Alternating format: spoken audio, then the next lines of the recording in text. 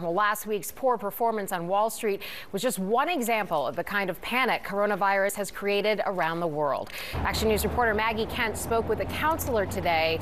She's live along the Ben Franklin Parkway with more on how to quell that unnecessary anxiety surrounding the virus. Maggie? Mm -hmm.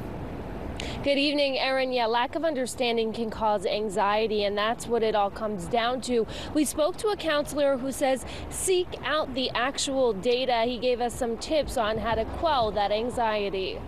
With the number of reported cases of coronavirus rising in the U.S., there's a sentiment of caution and for some, even worry about catching the virus known as COVID 19. So, if you don't really have all the facts, that's when you become anxious. Uh, it's, it's just one of those things we feel like we really don't know enough about it and this is what what's causing the anxiety. I hope not, that sometimes panic is very uh, like much more uh, severe than the virus itself. Miranda Zhang says if coronavirus seems to be spreading rampantly in the U.S., she'd consider going back to China, where quarantines make her feel almost safer. Like they restrict people going around to like cut the transmission of the virus.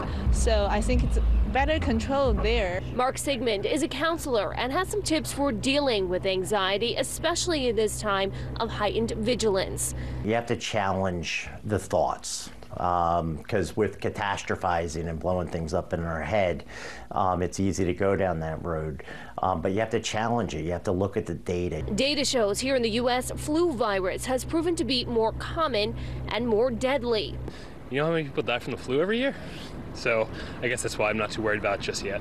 The best thing to do, keep up with cleanliness. Just washing my hands and making sure that everything that around me is sanitized. To beat out anxiety, arm yourself with information. You have to kind of reassure yourself with the actual facts. And that's why we're standing outside of the public library here on 19th and Vine. It is where a public information session will happen at 6.30 tonight. It's open to the public and there will be doctors from the D Division of Disease Control here to answer any questions that you might have. We're live along the parkway. Maggie Kent, Channel 6, Action News. Rick. All right, Maggie, thank you.